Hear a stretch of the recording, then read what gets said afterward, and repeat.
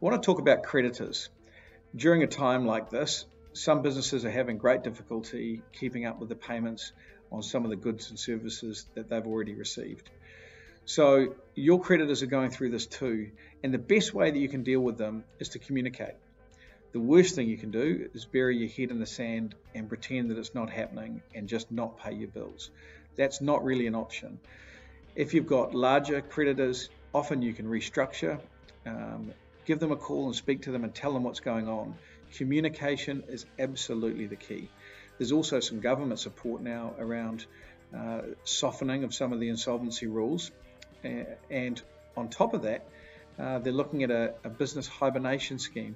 So make sure you look into that, speak to your accountant, get some advice around how to manage creditors, what you can do um, during this time, and some of the government support that's there. Find other ways uh, to to free up the cash to pay your smaller creditors, particularly.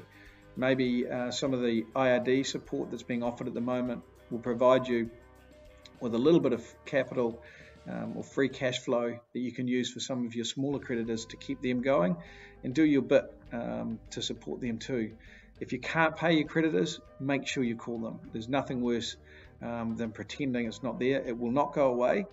But if you're if you're active, you're proactive, you're on the phone, and you're dealing with people, um, you'll be amazed at uh, at how supportive they'll often be. You can restructure um, and uh, and live to fight another day.